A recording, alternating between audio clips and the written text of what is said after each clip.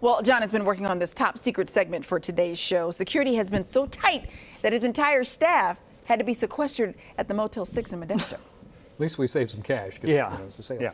Uh, he won't tell us what it is. Yeah. It Yes. could be a game. It could be the airing of grievances. We don't know. He's here now to unveil the mystery segment. Just Ready. To, just to keep expectations low, there was no food involved. No. Well, But do you guys know what today is? Right? Uh, today is the Monday. 28th. Yeah, It is June 28th. 28th. Uh-huh. It is also the beginning of Hallmark's Christmas in July, so we are bringing back the critically acclaimed movie or made up. It's a simple game. If you don't know, I read you a plot for a movie, and you have to decide: is it a real Hallmark Christmas movie, or one that I made up? Okay. Are you guys ready? So Oh, happy right now. absolutely. So happy. This is going to be good. Round one. Kendra is a big city journalist trying to uncover the love story behind an engagement ring that she found at an antique shop. Oh. Her reporting leads her to a small town and Michael, the handsome but very skeptical grandson of the ring's original owners. Oh. Michael, though, is too busy trying to sell the family store to help, but eventually he warms up to Kendra, and together they discover that his grandmother sold that ring to save that family store. Oh. And in the process, discover their own love for each other in Huh? The Christmas Ring. Is this a movie or is it made up? It's very gift of the Magi-ish. I really Yeah, I- like the way that was presented. Yeah. I Yeah. feel like I've watched the movie because it was really long. Yeah. Um, uh, I'm going to go with made up because in those movies, usually the person coming to the small town is so busy. Yeah. Right. Then they fall in love. Yes, this, and you it know, slows them Yeah. down. And yeah, yeah. Yeah. Mm-hmm. Um, I'm also going to say made up because I feel like Dabs has been wanting to write this story for some time. I'm Tina? going with made Well, up. my mouth opened like Yeah. this. So it's true. Okay. think it's a movie? all right. Oh, yeah. And it is a movie! What? And we have a clip. Oh, I mean, now it just feels like you're following me around. I promise you I'm not. I, I was just doing some research. Right on that ring that you claim belonged to my grandmother. Um, not a claim anymore. Oh, here's my blank phone. oh. See that? Whoa. I've never seen this picture before. Well, They made a cute couple. And see? The ring. as if you could Where did you say possibly tell from a 1948 picture that it's the same ring.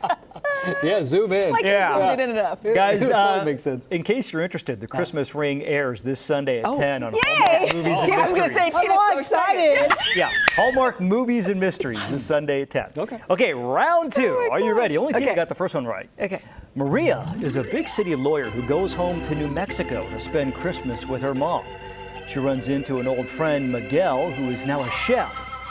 When a broken arm forces Maria's mom to drop out of the town's annual, town's annual tamale contest, Maria reluctantly steps in. Miguel, though, helps her find the winning recipe for tamales and love in the Christmas season. Hmm, is this a movie or is it made up? Although I could see a couple just kind of squishing the masa up, and how romantic that would be. Like the scene from Ghost? Like Yeah. Ghost. Yeah. Ghost in the kitchen. I'm going to say made up, John. Made up. See, when you said the arm was broken, I was like, oh my God, that's ridiculous. But then I was like, but that's probably why it's real. So I'm going to say it's a movie. My mouth did not drop, so it is fake. Oh, Tina's got a gauge. It is made up. That is a made it. up movie, but I think it could be one. I like the If you call tamale it aspect. love and masa. Okay, Masa. uh, but get it, the Christmas season is what I called it. Yeah, I see what you Um, did there. Seasoning. Yeah, okay, final round. Here we go. Okay.